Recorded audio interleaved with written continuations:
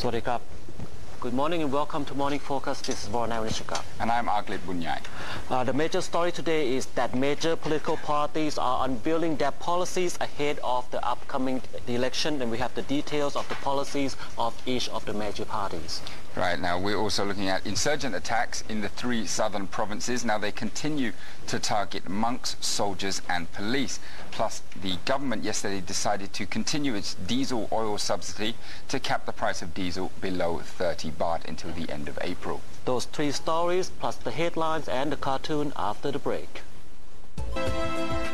Welcome back to Morning Focus. Now, as usual, Kunwar and I, we start with the headlines from the Thai newspapers. Now, uh, up first, we have Thai Rat newspaper, and their headline is The bodies of all six Thai victims have now been found. Now, that story concerns that the authorities have now ended their search of a building in Christchurch, New Zealand, with the bodies of six Thai nurses now having been success successfully identified. Now, meanwhile, in other stories of Thai people around the world, another 1,000 Thais are still unaccounted for in Libya as the clashes between uh, uh, protesters and Libyan troops intensifies and we move into daily news newspaper. The headline say Tu. That's Pheu Thai MP Jatuporn Prompan. His nickname is Tu. Tu mocks the Prime Minister. Now the Prime Minister is continuously harassed wherever he goes, also including this weekend where he was harassed by female worker activists. Deputy Prime Minister Suthep Thaugsuban expressed worries about the Prime Minister. Kun Jatuporn Prompan or Tu said that the Prime Minister's sins are now catching up with him and he's getting what he deserved for what he did to the Red Shirts. Now, Jatuporn also promised to put the Prime Minister into more misery when he reveals who is behind the burning of Central World Department Store at the opposition censor debate. But he has been promising to do that since the very first censor debate after the crackdown. But Kun Jatuporn has so far been coming up emptier than even Kun Tharit Pengdit, chief of the DSI. Right. See, well, how, maybe see how I just add added whole thing? Yes. I like the way you join the dots there. There you go. Now, uh, uh, over in Matichon newspaper, their story concerns, uh, the headline is Farmers Unhappy and they protest to raise the prices of paddy rice. Now, the government has agreed to raise paddy rice prices to uh, 11,000 baht per ton to ease pressure on farmers who were protesting and blocked roads in Pitsanulok and Ayutthaya. However, the new guaranteed price is still far from the farmers' demand, which was 14,000 baht per ton. So they've said that they will continue to protest and, in fact, expand on that. Now, the main story for the day, the Prime Minister over the weekend said that House dissolution could come at the end of this month or early next month. That means there will be a 60 days grace period afterwards and election could come in June of this year. So, Kom Chud Luek newspaper did a cover about the policies of the four major political parties, which we will detail for you a little bit today. Kun Agrit, let's start with Democrats, the people who run the station. Right. we'll start with them. Their, their, their policies are there amazing. Uh, amazing. There you go. Now, uh, they've said that they will focus on education and people's incomes. Now, uh, Korbsak Sabhavasu, the head of the election campaign team, for the Democrat Party has said that his party has already launched two PR campaigns for this election. Now, the first one says that the party will help the country to improve by emphasizing on the education of the general public. Now, the second says that the Democrats have told voters that they will focus on increasing the public's incomes as well as benefit from economic growth through its people's agenda policies. Now, in regard to tax reform plans, the Democrats want to overhaul the entire tax system and focus on other problems such as traffic. They would also build new ports in Rayong and Chonburi and build a high-speed train to link Bangkok and deep-sea ports in Pattaya. The Democrats, the Democrat would also like to build more transportation means and infrastructure and initiate more policies on keeping the beaches around the country clean as part of the plan to boost tourism. The Democrat Party would also go ahead with the construction of a high-speed train in the northeast, which would later be expanded to the south. Right, so next party. Lots of building. Lots of building. Uh, right, now the next party is Chart Thai Pattana and they will focus on political reform and bringing about national reconciliation. Now their party leader, Kun Chumpon Silapa Acha, has said that the party would focus on agriculture, education, tourism and finally public health. However, the party's main selling point would be uh, political reform through charter amendments. Now that's to enhance democracy and also to tackle social injustice as well as bring about national reconciliation reconciliation.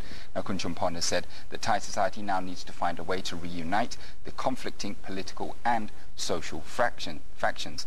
Now, the party will focus on trying to win House seats from its current political base in the central and northeast regions and hope to win around the same number of House seats that it had won in the past. Now, that number was around 40 to 50 MPs in the House. Now, moving on to BhumJai Thai Party, the main coalition partner. The BhumJai Thai Party aims to woo the grassroots. Deputy leader of the BhumJai Thai Party, Kun Bun Chong Wongtrairat said the party is now preparing its candidates to be able to reach out and literally touch the voters. As part of BhumJai Thai's campaign strategy, its candidates must work hard by visiting voters to create bonds with them and find out their problems. The candidates must also be service-minded and be ready to serve the public. The candidates running under the banner of BhumJai Thai must be local residents of their respective provinces because the closeness and the attachment is very important and BhumJai Thai care very much about the people in the area. As they should. As they should. All as all the other care, parties. They, they care very much. Of course they do. I am touched. Single teardrop. I can see you it. can't see it. Yeah, can. Now, uh, BhumJai Thai's main selling point is that it plans to take care of people's careers and help to cut the cost of living and also boost their chances of working in productive careers. Now, Kun Bun Jong said that the party would focus again on the northeast as the party was mainly formed by MPs from the Isan region. Now, they also hope to expand and become the third largest party in Thailand. I'm sure lots of people hope to expand and become the largest party They, in Thailand. they, they likely would come. If you look into BhumJai Thai uh, website, there's a page where they list the names and pictures of MPs who are not BhumJai Thai MPs, but MPs of other parties, but they are under the headlines of MPs who share our ideologies. So Right. perhaps this MP will move eventually to BhumJai Thai party. Do those MPs know that their pictures are in the website? They know. Oh. They should know. They ought to know. They have to know. How can they not know? if they don't know, we have to notify the webmaster or something. Well, anyway, moving on to Pheu Thai Party. Now, Pheu Thai Party will continue the policies of Thai Rak Thai and People's Power parties. Kun Kanawat Wat Sin Sangwon, deputy leader of Pheu Thai Party, said his party would focus on social, economic, and political issues of its two previous incarnations, which had been welcomed by the public in the past. He said the party's main goal was to increase the, the quality of life for the laborers and farmers and reduce the income gap between the rich and the poor. Its economic policies would focus on efforts to reduce cost of living while boosting their income and reduce unemployment rate.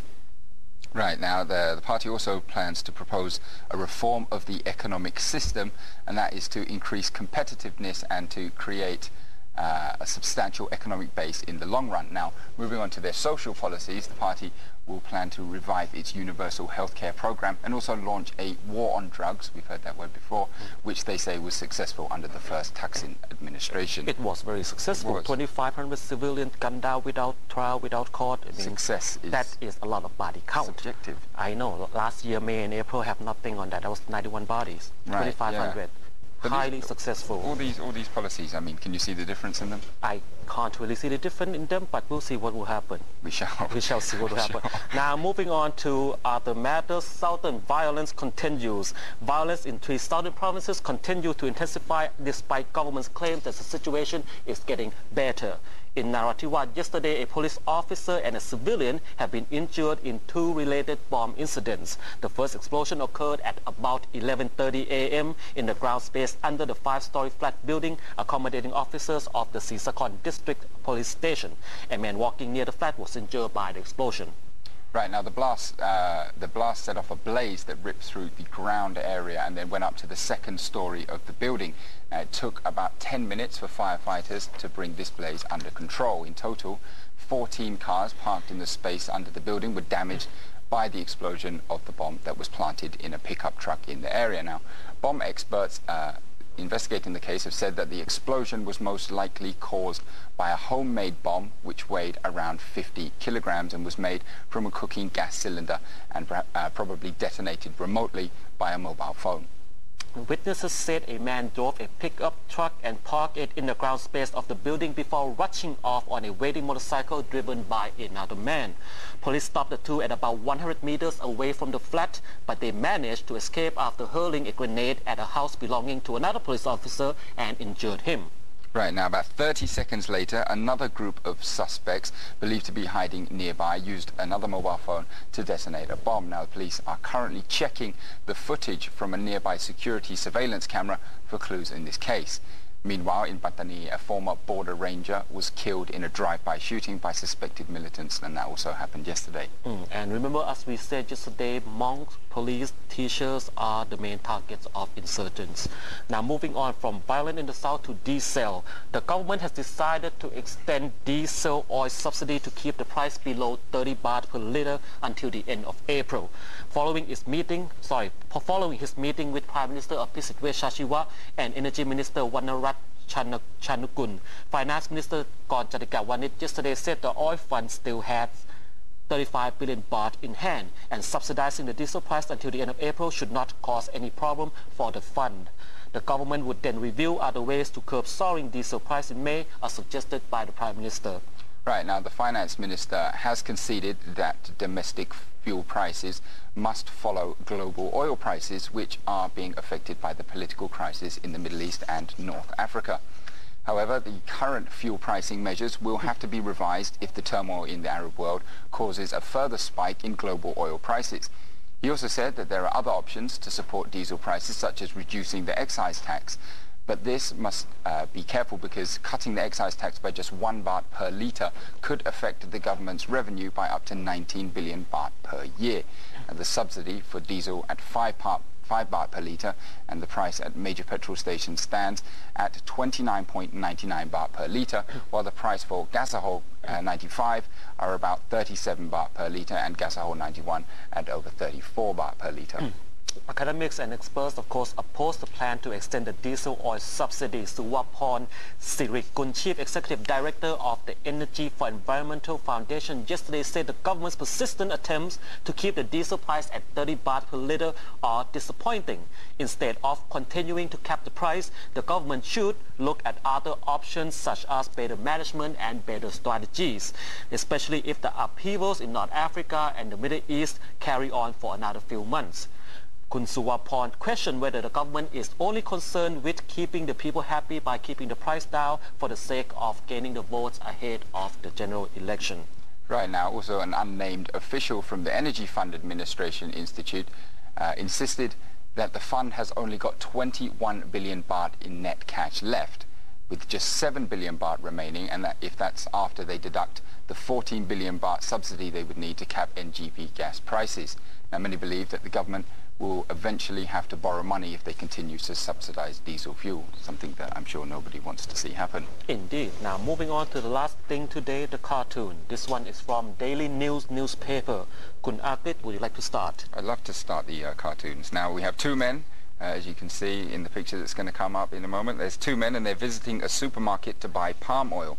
However, it's still unavailable on the shelf. So the first man, you can be the first man. The first, the first man questioned his friend. He said, how come the palm oil are still missing from the shelves? The government claimed that it's now available everywhere. Right, now his friend replies to this that palm oil might be missing from store shelves, but this is just a small matter because weapons that are stored in military bases can disappear even more easily. Things just keep disappearing in Thailand. I don't know do. what happened. Weapons, palm oil, M16 bullets, they disappear and become AK-47 bullets. I don't know what's happening. Well, that's all for us this morning. Thank you for joining us once again. Morning Focus at postnews.co.th. Any questions, comments, response, please contact us.